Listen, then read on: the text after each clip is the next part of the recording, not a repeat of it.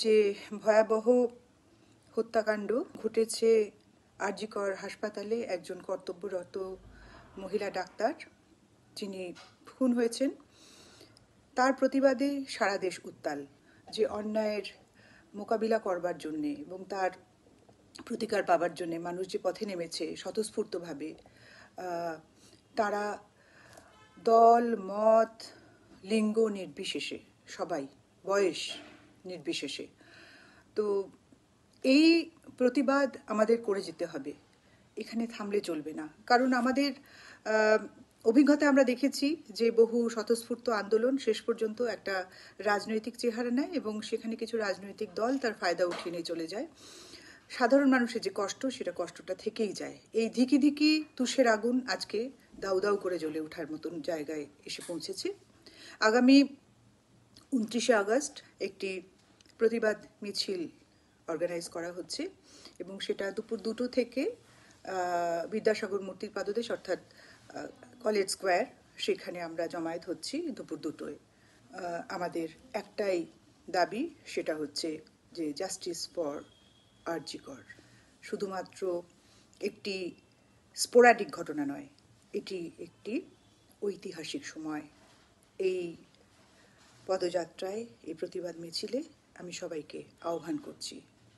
সবাই যোগ দাও। আর্চিকরের এই চিকিৎসক তরুণীর বৃহৎস মৃত্যু, নৃশংস মৃত্যু আমাদের সবাইকে নাড়িয়ে দিয়েছে। কারুর সঙ্গে এরকম ঘটনা ঘটতে পারে, একটি সুরক্ষিত কর্মক্ষেত্রে, একটি সরকারি চিকিৎসা ক্ষেত্রে, তা আমরা ভাবতে পারি না। পাড়ায় পাড়ায়, শহরে, রাজ্যে, এমনকি অন্যান্য শহরে এবং সারা পৃথিবীতেই যেখানে ভারতীয়রা আছেন, যেখানে বাঙালিরা আছেন, সবাই এই ঘটনার প্রতিবাদে গর্জে উঠছেন কারণ তারা মনে করছেন এই ঘটনার বিচার অবিলম্বে দরকার। আগামী উনত্রিশ তারিখ বেলা দুটোর সময় বিদ্যাসাগর মূর্তির পাদদেশ থেকে সেখানে নজরুলের স্মরণ দিবসে সেখানে সবাইকে আসতে আহ্বান জানাচ্ছি। এই অনুষ্ঠানেও আপনারা যোগ দেবেন। এই কারণেই মেয়েদের জন্য চারদিকটা সুরক্ষিত করতে হবে। যে মেয়েটি কাজে বেরোবেন, যে মেয়েটি পড়তে বেরোবেন, যে মেয়েটি আনন্দ করতে বেরোবেন, তাদের সকলের জন্য কিন্তু সারা শহরটাকে সুরক্ষিত করতে হবে, তার কর্মস্থলটাকে সুরক্ষিত করতে হবে, তার শিক্ষাক্ষেত্রটাকে সুরক্ষিত করতে হবে, পথঘাটকে সমানভাবে সুরক্ষিত করতে হবে এবং সেটাই কিন্তু আমাদের একমাত্র প্রত্যাশা, কারণ আমরাও সমান নাগরিক, এটাই আমাদের সেদিনের আহ্বান। এই আরজিকরের ঘটনায় আমরা স্তম্ভিত লজ্জিত, আতঙ্কিত।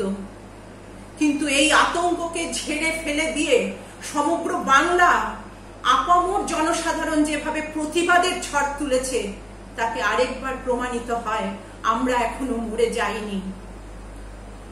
আসুন, উনত্রিশে আগস্ট, মেয়েদের ডাকা যে বিশাল মিছিল অঙ্গীকারের যাত্রা শুরু করবে, সেখানে আমরা সবাই মিলে সামিল হই। বিচারের বাণীকে আমরা নীরবে নিভৃতে কাঁদতে দেব না। আমরা সুবিচার এবং সুরক্ষা চাই মেয়েদের, এটাই আমাদের অঙ্গীকার। We want justice we want justice for RG Kar নমস্কার। এখন পর্যন্ত আমরা কিন্তু কোনো সদার্থক, কোনো ফলাফল আমরা পাইনি এবং অপরাধীদের শাস্তির যে ধারা আমরা এখনও জানতে পারিনি। এই জন্য আমাদের এই আন্দোলনকে আরও বেশি জোরদার করতে হবে। এই উপলক্ষে জাগো নারী জাগো বন্দি শিখার একটা অঙ্গীকার যাত্রার আয়োজন করা হয়েছে। আগামী উনত্রিশে অগস্ট, বৃহস্পতিবার, ঠিক বেলা দুটোর সময় প্রত্যেকটি স্তরের নারী, মহিলা, কন্যা, আমি তাদেরকে অনুরোধ করছি, আপনারা সকলে মিলে আমাদের এই অঙ্গীকার যাত্রায় যোগদান করুন এবং একে সফল করুন। তবেই আমরা আরও অনেকটা পথ এগিয়ে যেতে পারব। যেটা আমরা এখনও জানতে পারিনি যে এই নৃশংস ঘটনা ঘটালো কারা। কারা এই ঘটনা ঘটিয়ে এখনও পর্যন্ত আড়ালে থাকতে পারছে? কে তাদেরকে এই আড়ালটা দিচ্ছে? এরকম বহু প্রশ্ন এবং নিরাপত্তা।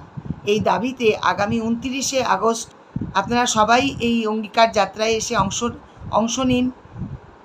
প্রতিবাদে সোচ্চার হন। জাগো নারী জাগো বন্দির শিক্ষা কাজী নজরুল ইসলামকে স্মরণ করে আগামী উনত্রিশে আগস্ট কলকাতা শহরের যত নারীরা আছেন, আমরা এই পদযাত্রায় যোগদান করতে আহ্বান করছি। সাহসী মন্ত্রে রক্ত টিকা।